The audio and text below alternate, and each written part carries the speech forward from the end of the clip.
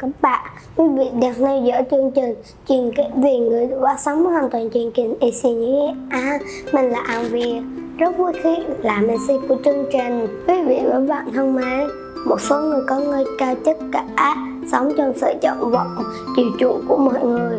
Thường xuyên hưởng sự ưu đãi đặc biệt lo rằng cuộc ơn đi mà không hề biết rằng mình đã nhiều phải hơn hơn đặc quyền đặc lợi suốt đời tâm niệm là người công bầu của nhân dân là trước thiên hạ vui sao thiên hạ, bác hồ của chúng ta luôn luôn hòa mình vào cuộc sống chung, không nhận bất cứ lời ưu tiên nào của người khác dành cho mình.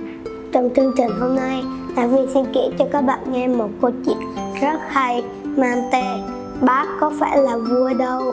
Cuối năm 1961 Báo Hồ về quê Nghệ An thăm bà con xã Vĩnh Thành.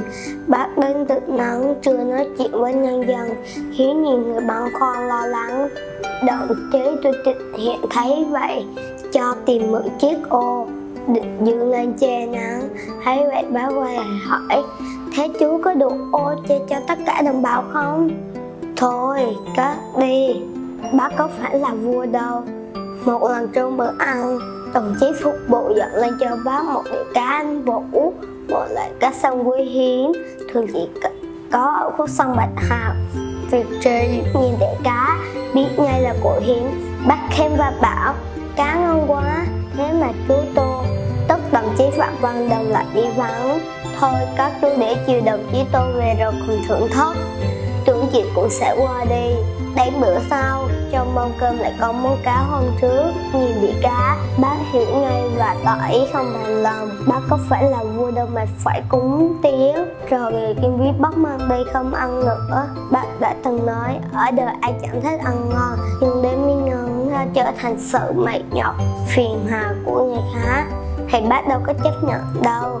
Ví vị thân mấy người xưa có nói, trời đất sẽ dĩ có thể dài và lâu, thì không xứng không sống cho mình nếu mà được trường sinh. Thánh nhân được mình ở sau mà lại lên trước. Được mình ở ngoài mà lại còn bó khổ sống quay. Không nghĩ đến mình mà lại trở thành sống mãi trong lòng chúng ta. Câu chuyện này giúp an vi cảm thấy bản thân đã đọc về nhiều về sự khiêm thấu hy sinh vì nước vì dân của bác. Dù ở cương vị cao đi chăng nữa, hy vọng rằng chúng ta, những thế hệ trẻ, sẽ học tập và noi gương theo bác. Xin hẹn gặp lại các bạn trong trình sau.